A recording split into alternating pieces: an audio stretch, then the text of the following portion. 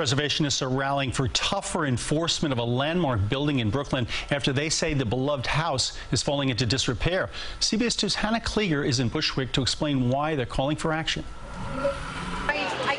The Lipsius Cook Mansion stands in stark contrast to the gray square developments around it. Yet decaying shingles, cracks in the facade have hit a nerve here. Let's not allow the pressures of the real estate industry to just buy and flip everything and turn it into this ugly looking thing. But there are four open landmark violations, according to the Department of Buildings. And HPD's website lists 13 complaints in the last two years. These activists are worried the building can one day suffer a demolition by neglect. Work with us so we can keep people in their homes, so we can continue to promote home ownership. An LPC spokesperson says the agency is aware of the condition of the mansion and has been in contact with the owner to discuss next steps. The Cook Mansion was built in 18 1989 and designated as a landmark 10 years ago. But right across the street are these Ulmer townhouses. Landmarks recently refused to designate these, citing changes in architectural features. This was one of three refusals the community got in the past two months. Developed in a relatively short period of time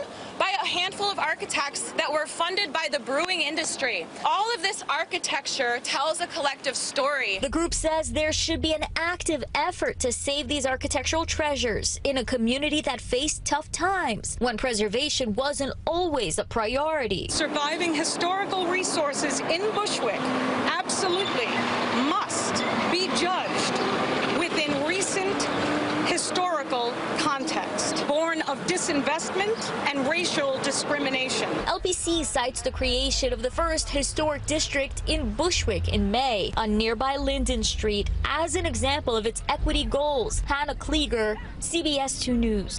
We reached out to the property owner, did not hear back. The Landmarks Preservation Commission says also it will continue to study the neighborhood for preservation opportunities. Hannah is our community reporter covering Brooklyn. If you have a story idea for her, you can contact the address you see on your screen.